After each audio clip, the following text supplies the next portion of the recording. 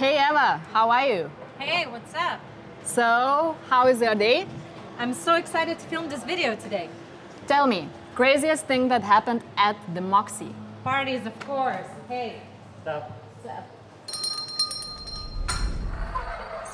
Are there any rules? Only one. What happens in Moxie stays in Moxie.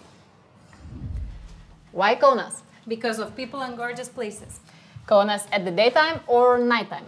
Both.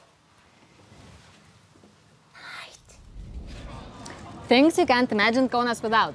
Basketball and Laisvės alėja. Best way to discover Kaunas. Kaunas guy. And bike, of course. Where did you bring us? To Kauna Žalgiris Arena. Why? To show you where the biggest events in Lithuania happen. What kind of events? Fairs, sport games, concerts, you name it. Are there any other places to see in Kaunas? Sure, let's see it from above.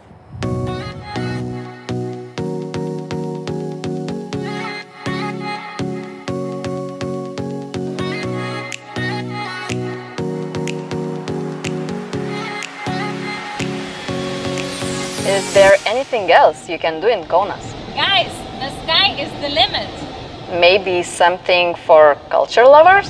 Kaunas is the capital of culture of 2022. It will be noisy, I promise you. What about activities for water lovers? I have to show you this wakeboarding. Could you describe Kaunas in three words? Fun, alive, and surprising. In scale 1 to 10, how likely would you recommend visiting Kaunas? 100. Most beautiful thing in Kaunas?